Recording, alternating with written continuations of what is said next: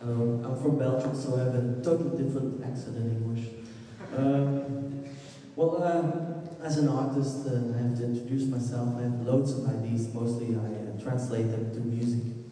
But of course, in life, everything comes to you. It's all these ideas hanging around in space, and here you see myself make music.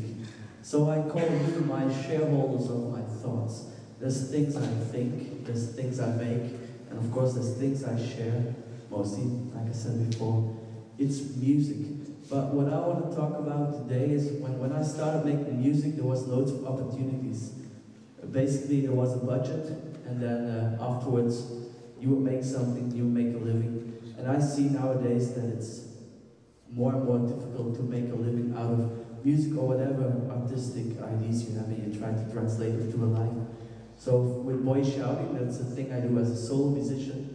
I use a loop station, it's just an interaction. So if you make art, you design whatever, you try to make money, of course, as all people do, because also artists are happy if they can make enough money to get a living, and at least don't lose money. Well, here's my story. What I did when I was as Boy Shouting, that was back in uh, 2008, I think. So we do a job, we go to work, we get paid. I write music on a daily basis. If I get up, I go to my piano, I can write music. It's, it's very it's not difficult for me. It's, it's like it's like breathing. It's, it's just like do something and, and there, there's music. In, in a couple of hours, I will have a song. So I thought, what can I offer people?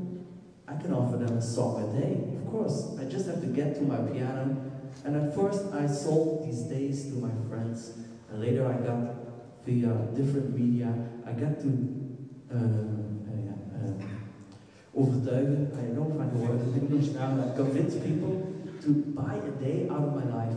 That was in 2008. So I had a budget to catch, and I had 100 days in my life. I would make a song every day.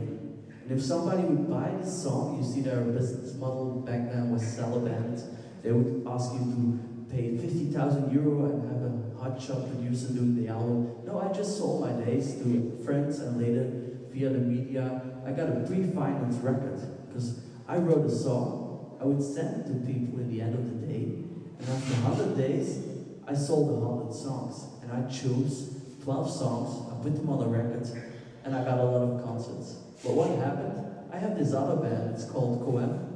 And uh, yeah, here you see my friends, uh, Stoffel, Tom, Jo, and Patrick. So I thought like, even now, this is 2014, it's really difficult for us to make money making music. So what did we do? We, we, we used to be this pop band, but we got more of this jazz idea of making music. And I want to say like jazz is not music, it's an attitude. What is jazz? It's just like you, you let all the things you feel, different instruments, you blend them, and you just see what comes out of it. And why is this important? The new album title of my band is called 12 Notes.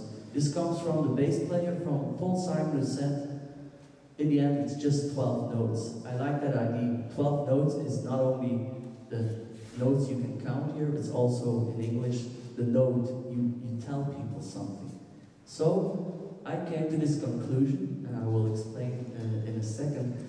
Uh, if I would make just a structure for a song, without holding on to the structure, I could rethink this song every time I play it. Just necessary not to make the structure too strong, so the musicians are free to uh, create another song. And so I came up with this new crowdfunding idea where I took a 250 old sleeves of records and I would put this print on it and I just have 250 prints, which these people here have some of them, and I would like to ask them to give them to the row behind them and just let them go way back.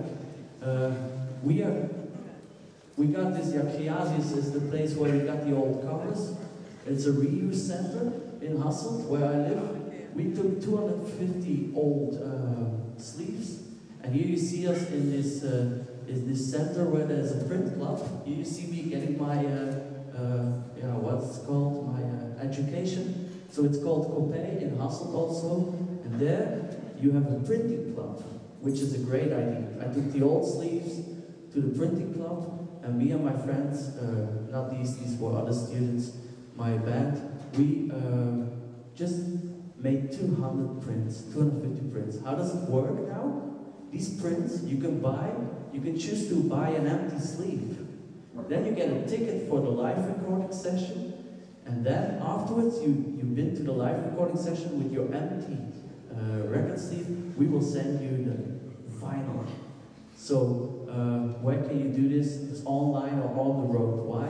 You have this crowdfunding site, it's really nice, but maybe you want to hear what the music will sound like, because I rethink the music every time I play it. So you can come to some of the concerts where you can check the uh, vinyls, the, the, the, covers, at the same time we'll play you the music. And later in Hasselt, you can come to the live recording session, where once more we will play the music, and the music you will hear that night will come to you in this totally unique uh, old cover with a print on, uh, and you get the vinyl or CD if you don't have a, a vinyl uh, yeah, record.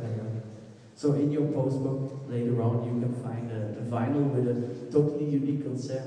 concert. Uh, just for the information, I did play one of these concerts here in TAC, and there I got to know this Pecha Kucha and said to Maarten, one of the hosts, uh, well, I would love to explain the same, uh, tell the same story here in front of a nice audience. And as you see, time flies and evolutes. Uh, so I want to thank